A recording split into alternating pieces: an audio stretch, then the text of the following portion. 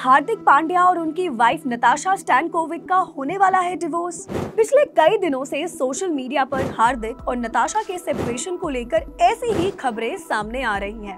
Actually ये rumours तब शुरू हुए जब ये नोटिस किया गया कि 2024 के पूरे आईपीएल सीज़न में नताशा एक बार भी अपने पति हार्दिक पांड्या की टीम मुंबई इंडियंस को चेयर करने के लिए स्टेडियम नहीं गई और रूमर्स और भी ज़्यादा स्ट्रॉन्ग तब हुए जब नताशा स्टैनकोविक ने अपने इंस्टाग्राम हैंडल से अपने नाम के आगे से पांड्या सर नेम हटा दिया। इनफैक्ट ऐसा भी बताया जा रहा है कि दोनों ने डिवोर्स फ़ाइल कर दिया है। अब ऐसे में सवाल ये उठता है कि अगर हार्दिक पांड्या और नताशा का तलाक हो रहा है तो इसकी वजह क्या है? क्या है इस खबर की पूरी सच्चाई? आइए जानते हैं इस वीडियो में।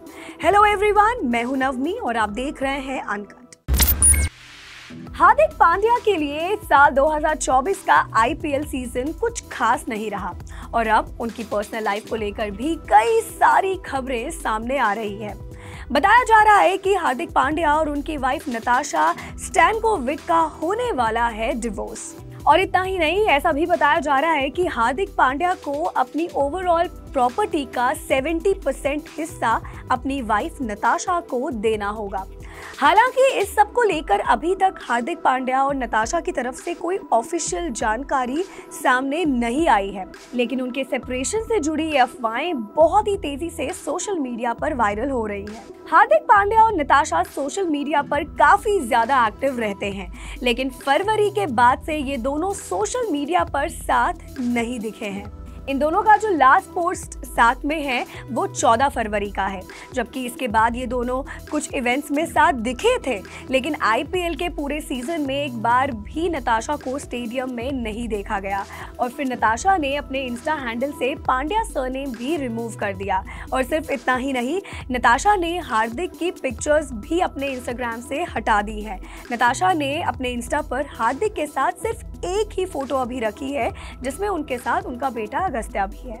और इन्हीं सब कारणों से ये खबरें और भी ज़्यादा फैल रही हैं। इनफैक्ट, नताशा के बर्थडे पर भी, जो कि 4 मार्च को आता है, हार्दिक पांड्या ने अपनी वाइफ के लिए एक भी सोशल मीडिया पोस्ट शेयर नहीं किया।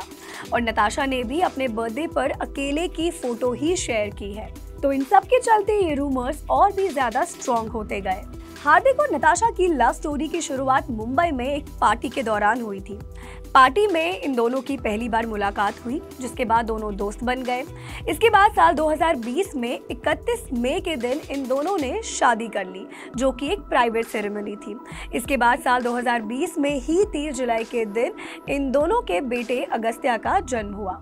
और फिर साल 2023 में इन दोनों ने राजस्थान में एक ग्रैंड सेलिब्रेशन के साथ हिंदू रीति रिवाज और क्रिश्चियन रिचुअल्स के साथ शादी की थी। और अब साल 2024 में दोनों के सेपरेशन की खबर सामने आई है।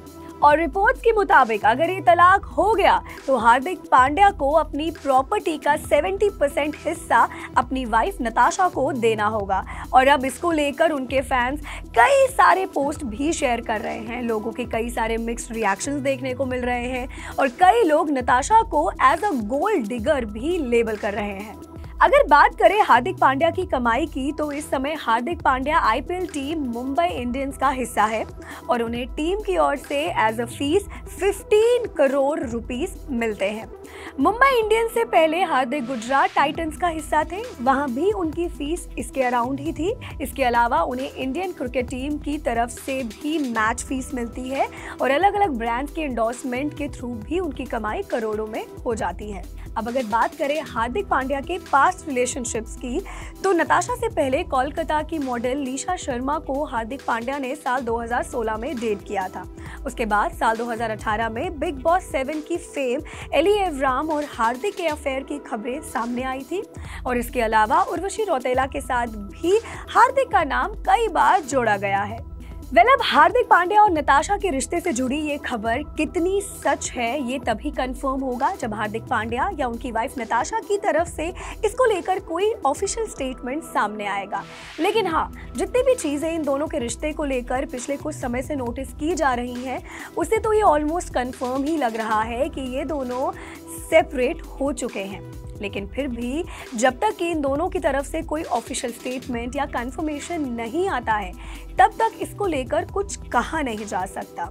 लेकिन इन रूमर्स को लेकर आपका क्या कहना है, ये हमें कमेंट्स में ज़रूर बताइएगा और ऐसी ही लेटेस्ट एंड अपडेटेड वीडियोस के लिए देखते रहें अनकट